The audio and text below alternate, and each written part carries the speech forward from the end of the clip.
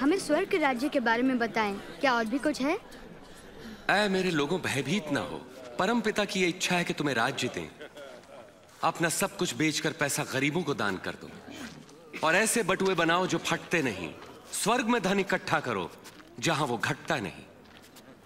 क्योंकि कोई चोर वहाँ नहीं पहुँच सकता, न ही कीड़ा उसे नष्ट कर सकता है।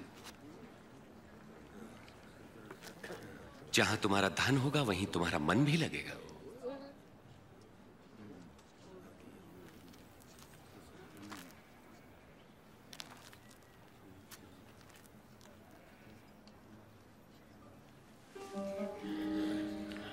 हे नारी तुम अपनी बीमारी से मुक्त हुई।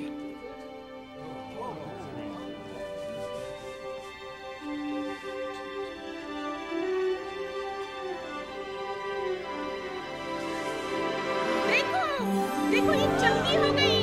ये तो चमत्कार है। देखो ये हो गई। आओ देखो।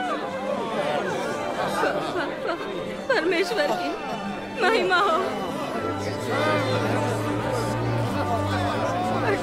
साल परमेश्वर आपको सुखी रखे। हफ़्ते में छह दिनों तक हम काम कर सकते हैं तो चंगाई के लिए हम इनमें से किसी भी दिन आ सकते हैं मगर विश्राम के दिन नहीं। अरे कपटियों क्या विश्राम के दिन तुम में से हर कोई अपने गधे या बैल को खोलकर उन्हें पानी पिलाने नहीं ले जाता? और यहाँ पर यह स्त्री जो अब्राहम के वंश से है जो 18 वर्ष तक शैतान के बंधन में थी क्या विश्राम के दिन उसे मुक्त करना उचित न था?